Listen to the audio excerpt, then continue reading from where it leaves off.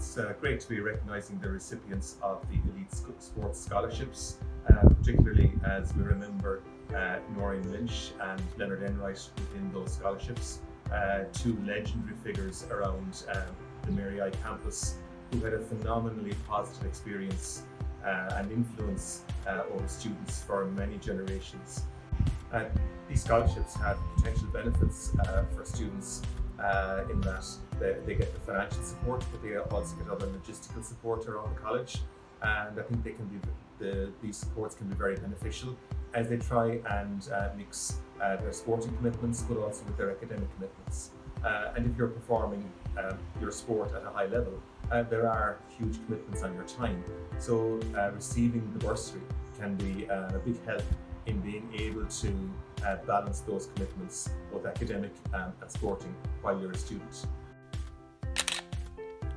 Um, the best thing about the scholarship for me is just being able to not have any worries about financial difficulties, especially with the amount of sport I'm playing, travelling up and down the road. It's, it's really beneficial to me and it kind of leads into the classroom as well and not having that worry over me that I can concentrate on the academic side of things.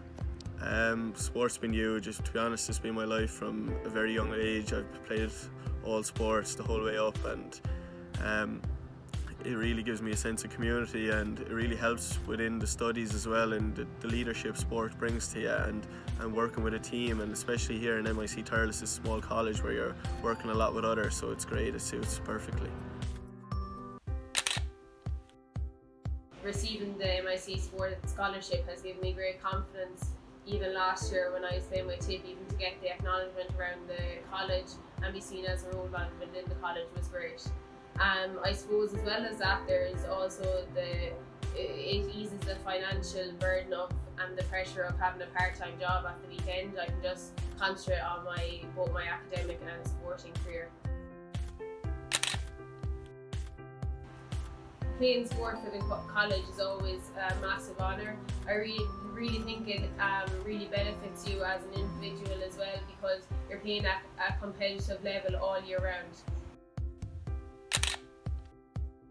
I would definitely encourage somebody to go for the elite scholarship because it's a it's a huge benefit to you while you're while you're in the college. And for me I suppose I don't have to worry about financial issues of, of my fees and, and things like that. So it's definitely important for people if they want to think about going for it to apply and see where it takes you because it's definitely a huge benefit and it'll also give you huge confidence as well.